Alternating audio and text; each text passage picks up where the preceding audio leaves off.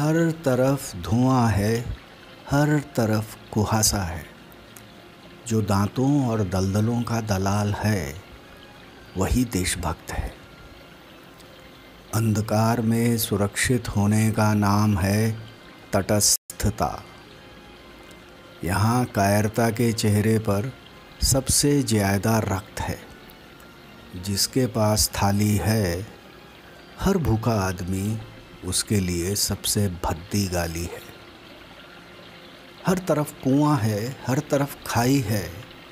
यहाँ सिर्फ़ वह आदमी देश के करीब है, जो या तो मूर्ख है या फिर गरीब है।